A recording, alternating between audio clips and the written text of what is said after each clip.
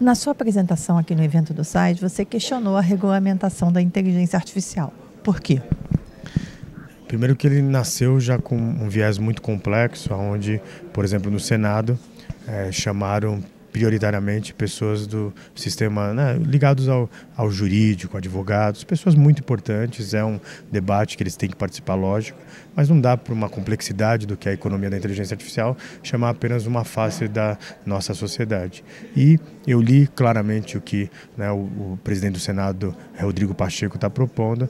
É, na minha visão e de vários pensadores sobre a tecnologia, a gente está colocando muito mais trancas do que sendo é, educativa antes do punir. Isso pode nos levar a um grande atraso na inovação dessa nova economia, que é uma janela gigante do mundo. Quando a gente fala do PEG dos, né, 2338, é, muita gente critica o fato de, de, olhar muito para os riscos, somente para os riscos. É, é, nesse, é nessa área que você acha que o PEG peca?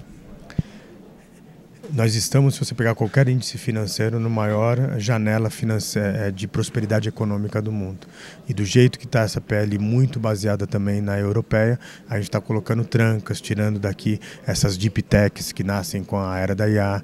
Né? É só pegar os exemplos do que está acontecendo né, é, em Boston, onde se regulamentou, sim, mas de uma forma mais leve, mais educativa e uma explosão de inovação. Olhar o que a China está fazendo. Então, eu acho que a gente precisa dar um passo atrás de ser não tanto punitivo, tem coisas que tem que punir, que não tem discussões, né, como deepfakes, etc. Mas ali do jeito que foi colocado, é, você tira o, o, o crescimento de startups aqui no nosso país de deep tech. Mas muito se fala que a IA tem dois lados, tem a do bem e tem a do mal. O que fazer para que a IA do bem sobressaia sobre a IA do mal? Eu, eu acredito que a IA, a IA é o nosso espelho. E nós é, né, temos, infelizmente, todos nós, todos os dias temos esses dois lados. Não somos maniqueístas de achar que só somos bons ou só somos maus. E eu acho que nesse momento, por até a situação do país, estamos mais olhando os riscos. E eu posso assegurar que as oportunidades são é, infindavelmente maiores. E a gente está, é, para combater o risco, que é importante, né, é, deixando de também deixar uma abertura, uma janela para essa prosperidade gigantesca. Quais são as oportunidades para o Brasil que você enxerga? Muitas temos, primeiro, sobre energia limpa, nós temos condições de ser né, o local da, da, da, grande nuvem mundial. É, nós temos que também, é, é, nossa capacidade de criar empreendedorismo de alto impacto e podemos utilizar isso dentro da nossa academia.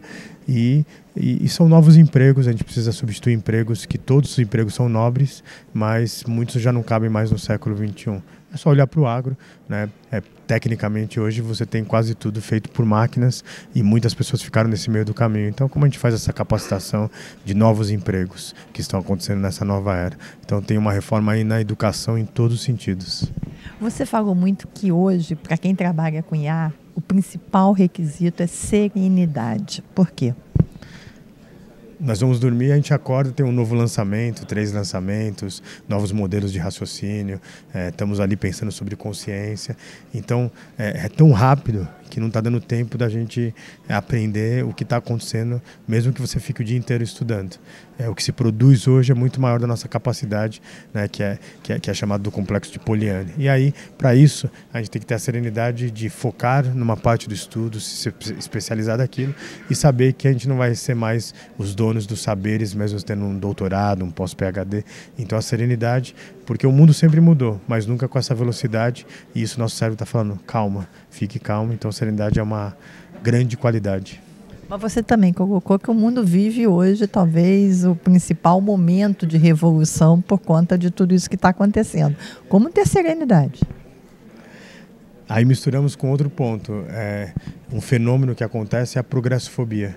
Muitos estão assustados com esse processo e achando que o mundo está pior. Se você pegar dados, né, nós vivemos um mundo onde é, estamos recuperando é, espécies que foram extintas e não por, por, causa de biotecnologia, mas que estão aparecendo de novo na natureza. Estamos criando riquezas e compartilhando isso. Tem muito a fazer, mas nós vivemos melhor do que Luiz XV.